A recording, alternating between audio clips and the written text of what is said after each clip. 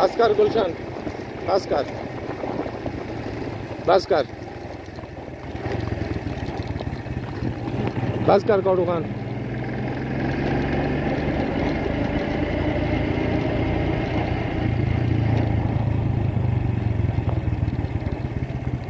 ये दोस्तों, एक छोटा सा क्लिप मैंने बनाया आप दो दोस्तों को दिखाने के लिए कि हम घोड़ों की ट्रेनिंग किस तरीके से करते रहते हैं।